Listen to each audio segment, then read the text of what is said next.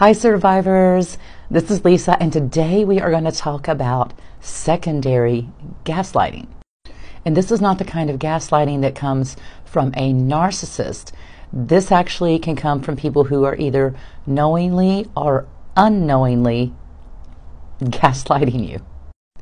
And these are the people that say things like about the narcissist, well, they may or may not be a, a good person, but they're certainly toxic to you.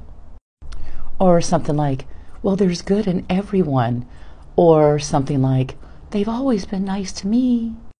These type of comments can be very re-traumatizing to victims because they are implying that the victim is somehow responsible for the abuse they endured. It implies that the victim simply brought out the worst in the abuser, but they could change and be better for someone else.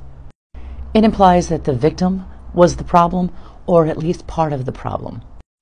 It implies that the victim is somehow responsible for the abuse that they endured because deep down, that narcissist is a good person. It implies that something is wrong with the victim.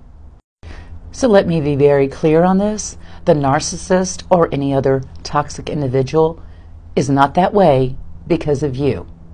You did not bring out the worst in them. Their actions and behaviors actually had nothing to do with you. Hurting others is what's ingrained in them. All the narcissist was ever looking for in you was a source of supply. And they will just move on and get it for someone else if you're not giving it to them. And of course, they treat others nicely. They need side sources of supply and they need to establish themselves as the good guy or the good gal and therefore turn others against you once the relationship ends. And also know when they're being nice that that is just their manipulation, that is only their facade, it's not even real. You did not attract, cause, or ask for the abuse. It was not your fault.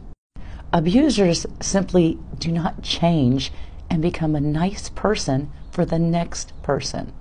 100%. You did nothing to deserve this abuse.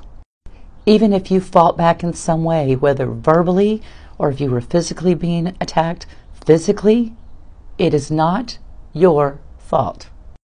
And there is nothing you could have done differently to have prevented it. More on gaslighting in the pinned comment. Have a great day.